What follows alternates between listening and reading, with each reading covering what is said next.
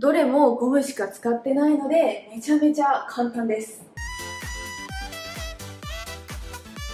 チェキチェキこんにちは。表参道ヘアティストあやまるです。あやまる美ヘアチャンネルの公式 LINE を始めました。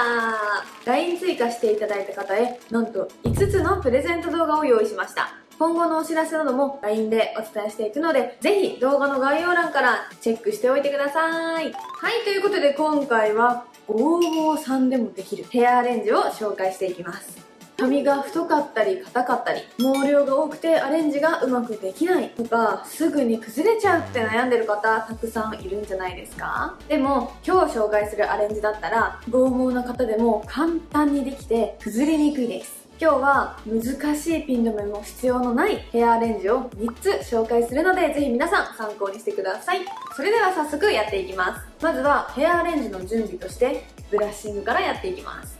どのヘアアレンジをするにしてもこのブラッシングは必ずやってください。この最初のブラッシングとっても大切です。はいこれで全体をブラッシングできたら今日はざっくりと毛先をワンカール巻いていきます。ちょっと私今癖があってうねうねってなってるんですけど、まあこれは無視してもらって、毛先だけワンカールしていきます。別に巻かなくても十分可愛いんですけど、やっぱりちょっとでも巻いてあった方が、ふんわりとして可愛くて、こうやって髪を巻くことによって、熱を通してるので、ボサボサな感じがなくなります。なので、あんまり本当に神経質になって綺麗に巻くっていうよりは、本当に毛先がちょっと動いてるかなぐらいで巻いていただいて大丈夫です。はい、これで毛先ワンカール巻きました。少しだけ毛先に動きがついている状態です。そしたら次にヘアオイルをつけていきます。このヘアオイルつけるだけでも髪のボリュームがぐっと下がるしすごくアレンジがしやすくなります最後にアレンジをほぐす時もこのオイルがついていることによってほぐした髪の毛に束感が出てすごく綺麗ですなのでほぐした後にどうしてもなんかボサボサに見えてしまうという方はオイルしっかりめにつけておくといいんじゃないかなと思いますはいこれで準備ができたのでまず1つ目のアレンジからやっていきたいと思います。まずは髪の毛を耳の後ろら辺でこの辺で結んでいきます。ちょうど耳と同じところですね。で結ぶ時にこの時先に遅れ毛を出す方は今の時点で先に出しておいてください。こんな感じでお土産とこめかみと顔前先に遅れ毛を出すことによってこの遅れ毛の調節がしやすくなります。縛った後に遅れ毛を出してやりすぎてしまった時ってまたゴムをほどかないといけないじゃないですか。なので先にすぐに調節できるように遅れ毛は出しておきます。そしたらこれで髪を結んでいくんですが髪の多い人は細いゴムだとゴムがちぎれてしまう場合があると思うのでそういう時はこういう細いゴムを2つ二重にして縛るかもしくは太めのゴムを使うといいと思います。今回は私は二重でやっていきますね。太いゴムも細いゴムも100均とかに売ってるのでちょっと探してみてください。はいこれでお団子を作っていくんですがこの時に結びきらないお団子の状態でストップしてください。この状態です。そしたら先に全体をほぐしていきます。爪と爪で細かい毛束を引き出すように真ん中からだいたい指2本分の間隔でほぐしていきます。これもリズムよくほぐしていくとバランスよくほぐせます。でこの下の部分も忘れずにほぐしてください。で横の部分もこの時にもうほぐしちゃいます。で耳の上を少し髪の毛で3分の1ぐらい隠してあげるとよりルーズで小顔効果があります。はいそしたら今この状態ですね。そしたら次はこの降りている髪の毛をロープ編みにしていきます。ロープ編みにする時はこうやって頭を傾けて毛先を前に出してロープ編みをしていくとやりやすいと思います。まず2つに分けたら左側の髪の毛を内巻きにねじったら右の毛束の後ろに重ねる。そしたら次また左側に来たのを前にねじったら後ろに重ねる。前にねじって後ろに重ねる。こんな感じです。やっぱり前から見た感じだとやりづらいかもしれないので後ろ向きで一緒にやっていきますね。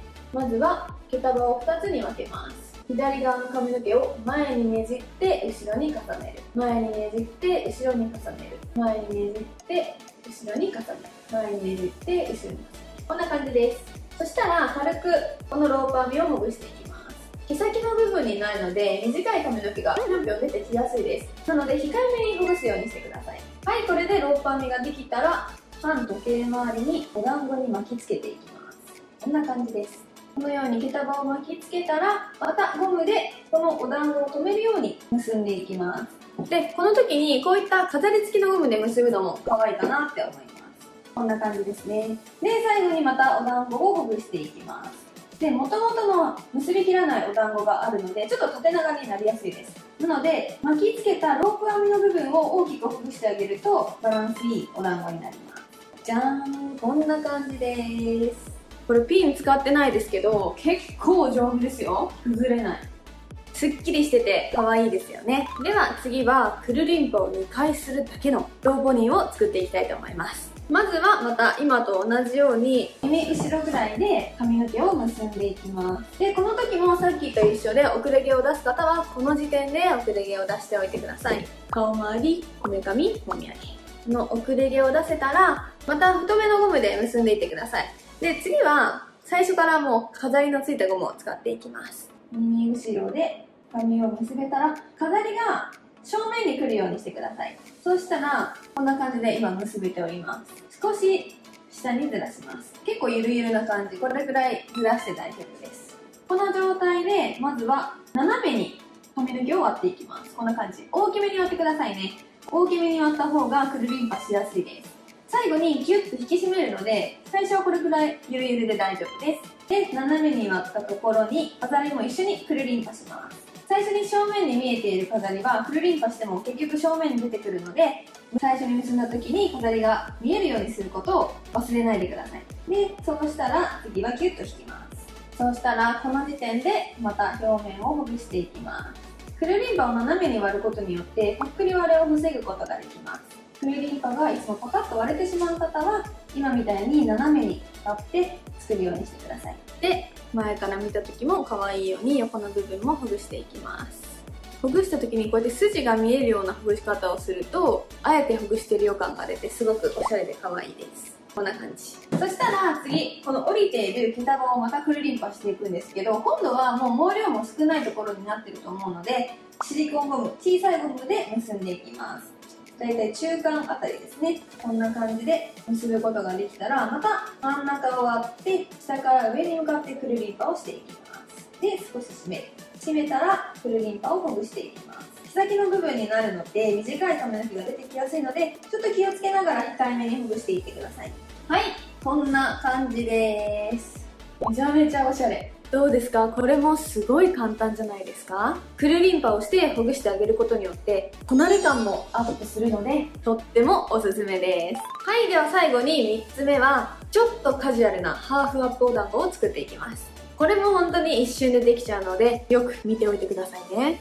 まずは髪の毛をこの耳上ぐらいからまっすぐ後ろに取ってハーフアップを作っていきます。だいたいこのぐらいですね。ちょっと結ぶ髪の毛の方が多めです。下の方が少ないです。この状態でまた結びきらないお団子を作っていきます。でこの時に下に降りている毛束が左下に流れるようにしてください。こんな感じです。そしたら先にこの上の部分をほぐしていきます。細かい毛束爪と爪で23本の髪の毛を引き出すようにイメージしてください。こんな感じでほぐせたら先にまたお団子もほぐしておきます。で上下に裂くようにお団子をほぐすと綺麗にほぐせます。後ろは今こんな感じです。で次に前から見た時も可愛いようにこの横の部分ほぐしておきます。こんな感じですね。